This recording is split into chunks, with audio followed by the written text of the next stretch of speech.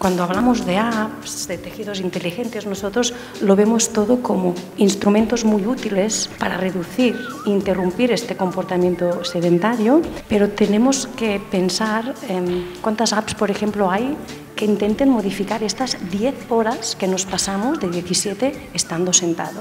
En el caso de un, de un robot que sea de compañía, nosotros buscamos un tipo de, de, de, forma que sea amigable. Buscas un robot que sea un amigo, buscas un robot que sea una mascota, buscas un robot que sea un compañero. Entonces, uh, la forma que, que, tenga el robot determina mucho uh, de qué manera vas a interaccionar con él. La tecnología cambia la sociedad, ¿no?